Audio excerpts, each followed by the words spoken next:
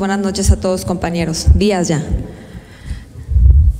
Quiero agradecerles el voto de confianza que le dieron a los gobiernos municipales del Distrito 1, Puerto Morelos, Lázaro Cárdenas, Benito Juárez y próximamente estaremos votando en unos minutos más Isla Mujeres.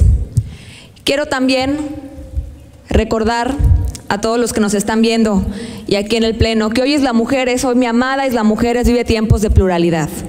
Hoy históricamente tiene dos legisladores de partidos diferentes, nacidos en esa bella isla, que están aquí tomando decisiones en beneficio de los ciudadanos isleños.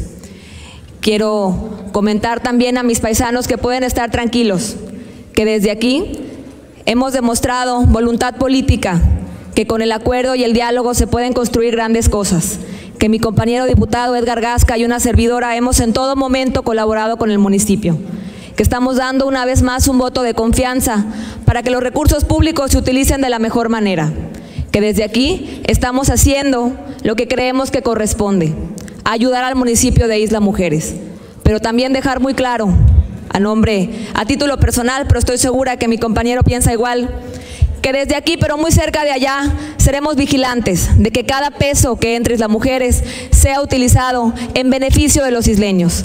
Queremos una isla más segura, más limpia, más próspera. Y desde aquí cuidaremos a todos los isleños y las isleñas. Desde aquí ayudaremos, sí, pero también seremos muy claros y muy concretos en que cada peso tiene que ser utilizado en beneficio de cada niño y cada niña de Isla Mujeres, que Isla Mujeres tiene que ir para adelante y que por supuesto cuenta con sus legisladores desde este Congreso local para ayudarla en todo momento. Es cuanto.